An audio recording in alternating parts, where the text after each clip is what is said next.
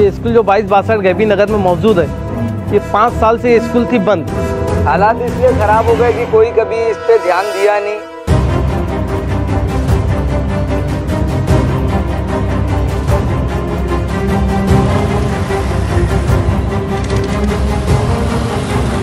माशाल्लाह आज वो स्कूल अच्छी से अच्छी पोजीशन में तामीर हो रही है। रईस भाई ने हमारी स्कूल की खस्ता हालत देख के फंड लाया।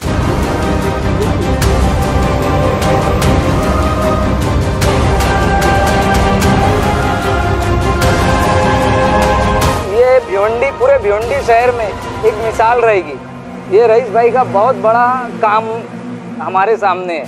मुझे बड़ी तसल्ली हो रही जब मैं आज घर जाऊँगा तो मुझे ये एक सुकून रहेगा कि तालीम के लिए जो हमने विजन पेश किया है भिवंडी शहर में, वो उसकी तामीर हो रही है।